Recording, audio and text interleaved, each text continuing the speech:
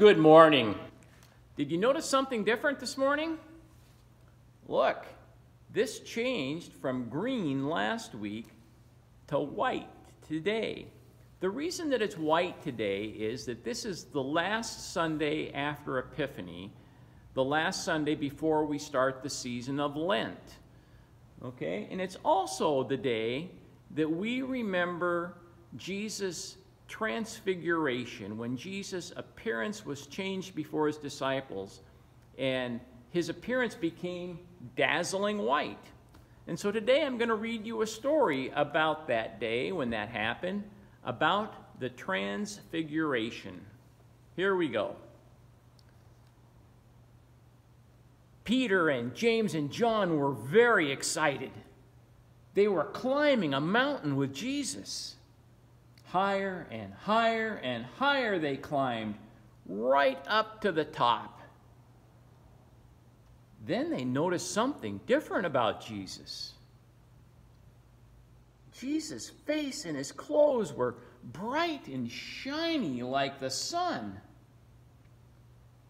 Moses and the prophet Elijah were standing with Jesus, talking about God's promise to save the world. Peter couldn't believe his eyes. Suddenly, a cloud covered the mountain. A voice said, This is my son. Listen to him. The voice was God. Peter, James, and John, they covered their faces. Then Jesus touched them they peeked up. And everything was the same as it was before. Even Jesus. On the way back down the mountain, Jesus and Peter and James and John talked about God's promise, but they didn't tell anyone else about what had happened on the mountain for a very long time. Kind of an amazing story, isn't it? I hope you enjoyed it. Here's something for you to do this week.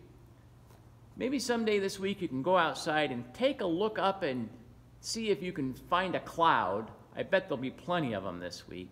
Look at that cloud and imagine a voice coming from that cloud and speaking to you. What do you imagine that voice God's voice might say to you. Okay? Hey, thanks for being here. We'll look forward to seeing you next week. Next week's the first Sunday in Lent. Bye bye.